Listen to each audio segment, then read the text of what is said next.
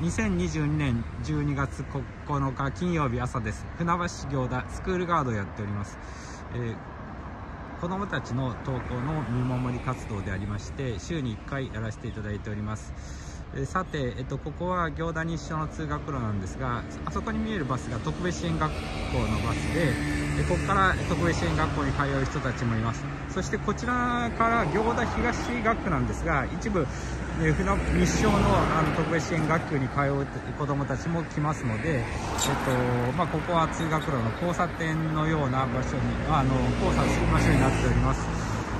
えーあの週に1回ですけど子どもの見守りやっております、えー各地でやっておりますのでもし近隣でできる方おられましたらスクールガードをやっていただくと非常に嬉しいです